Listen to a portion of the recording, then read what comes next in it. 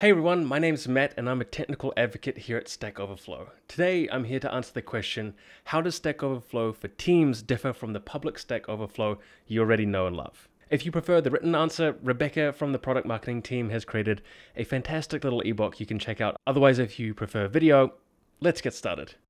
What is Stack Overflow? Stack Overflow is a knowledge sharing platform for software developers. If you don't know how to do something, chances are you're one of the 85% of developers worldwide who visit Stack Overflow every week. Developers and experts have been contributing, refining, and curating knowledge on Stack Overflow for over 10 years. That's a lot of answers. Personally, I started using Stack Overflow at university and I still use it today, years into my software development career. That said, I also work here so, the main benefit to using Stack Overflow is the knowledge curated by the global community that helps individuals solve all sorts of technology related challenges way faster than they could by trying to figure it out by themselves. If things aren't compiling or you're facing an obscure bug or a common bug, chances are someone at Stack Overflow has previously encountered and solved this problem. You don't need to tap anyone on the shoulder, just continue on about your day feeling better that you've solved something yourself. That autonomy makes myself, and I presume others as well, feel very empowered and confident in their own abilities to get stuff done. So you may be wondering if Stack Overflow has all of this great public and free knowledge, why would you want your own private instance of Stack Overflow in the first place? Something like Teams, something that's not viewable by the public where you'll have to build up knowledge from scratch. Well, it all comes down to the fact that some knowledge shouldn't be shared externally. There's a reason why all of your Wikidocs are protected, your keys are encrypted, and company secrets are under an NDA. There's some stuff that's relevant to your company and your company alone that should definitely stay under wraps.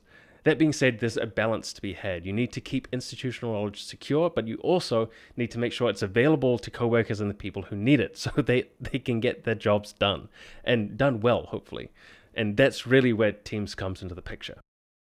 Teams is a private instance of Stack Overflow for your own use. All the goodness that Stack Overflow provides, democratization of internal knowledge and incredibly searchable content, as well as integrations across popular products like Slack, Microsoft Teams, and Jira. As far as companies you know that use Teams, Microsoft, Intuit, Zendesk, and NASA are all currently using Teams, and by all accounts, loving it. So let's dive into what Teams is and why it's so handy.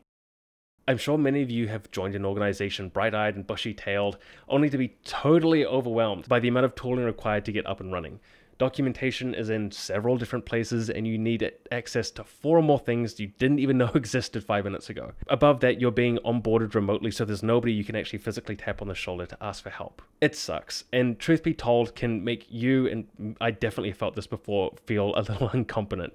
Most of us suffer from imposter syndrome at some stage, and none of the above helps. What's worse is all the DMs you send to people, and they're answering those really valuable questions you have when you first join they never get to see the light of day. A lot of really good information is lost when it's not placed somewhere useful or even searchable that can be found again.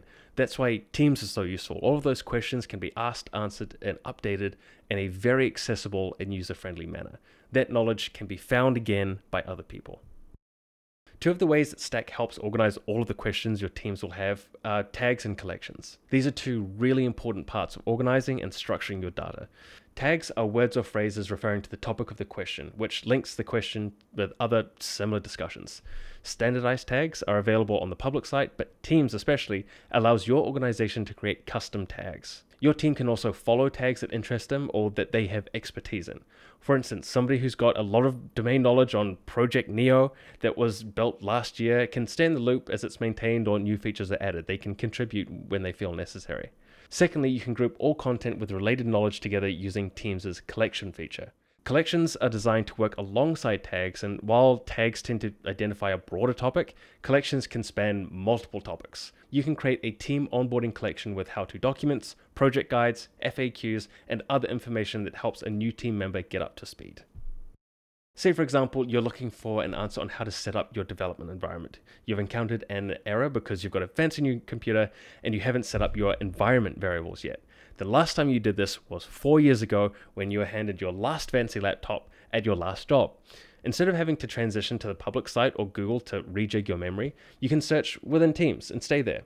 Results are pulled from both the private and public platforms and are shown in a single interface. It is really, really useful. Speaking of useful, we all know the amount of tooling required to operate a business these days is immense. So the team at Stack has developed several integrations across Slack, Microsoft Teams, and Jira to help streamline your processes and keep context switching to a minimum.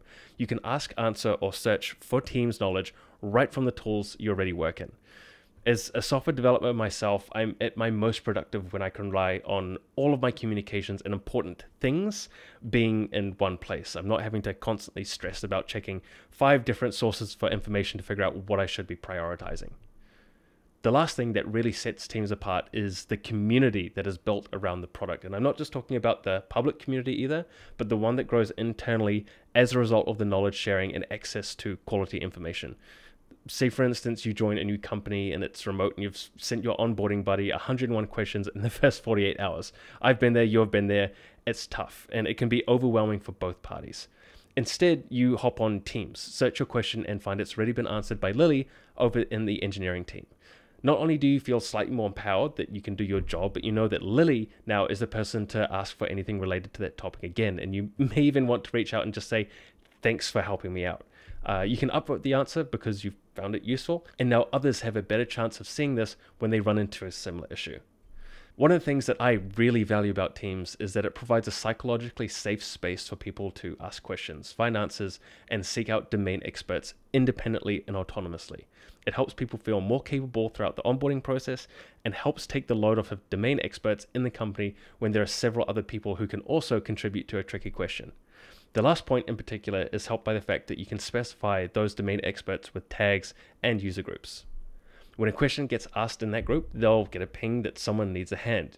User groups can also be customized to fit your organization's structure. For example, an engineering user group might be the entire engineering team or a small sub team that works on a specific product, like front end devs or Project Nebula. So that's Stack Overflow versus Stack Overflow for Teams. Stack is a public platform that you know and love, and Teams brings across all of that goodness, makes it private, and zhushes up a few of the features to make it work at an enterprise level. To quickly recap, here are a few main takeaways from the video. Stack Overflow has a global community where anyone can contribute. Teams helps you share knowledge privately with an internal knowledge sharing community. Everything contained within that space is more relevant to your company, your tech stack, and your environment. On the public platform, community members with high reputation are the only ones who can create a tag.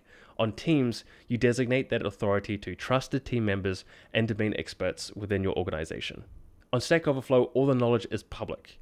With Teams, your search digs through both the public platform as well as all the juicy little internal knowledge bits you've gathered over the years. And then that all happens in one place. Only Teams gives you the integrations to search, capture, and access knowledge without disrupting your flow or making you switch apps. Lastly, with Stack Overflow Public, everybody gets the same onboarding experience. Teams, on the other hand, while sharing that onboarding experience, also allows for an individualized onboarding adoption and further support. And that, my friends, is everything you need to know about the difference between Stack Overflow and Teams. Not Microsoft Teams, Stack Overflow for Teams. If you've got any questions about Stack Overflow for Teams or Stack Overflow, leave us a comment down below and check out the link down in the description. We're waiting for you. Thank you so much. I hope you enjoyed the video, and I'll see you in the next one.